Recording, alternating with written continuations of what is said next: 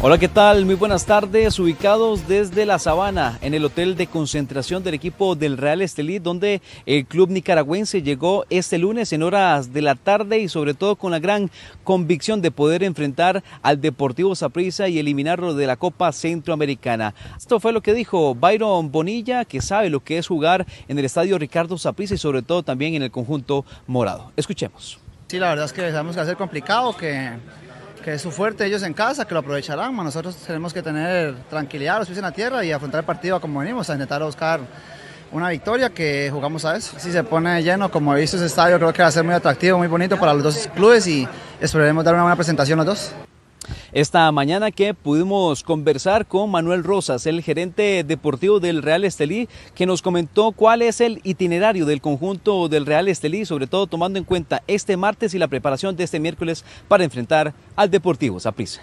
El día de hoy solamente el reconocimiento de cancha, detalles ya internos en el sentido de charlas pues con psicólogo y todo eso y el día de mañana pues a estar desde tempranito con la actitud de, día de partido, ¿no? Activación del día de hoy, eh, tienen para el día de mañana, si acaso en algún momento se necesita, se solicita un salón por aquí y alguna activación mínima para que el deportista también no esté relajado, ¿no?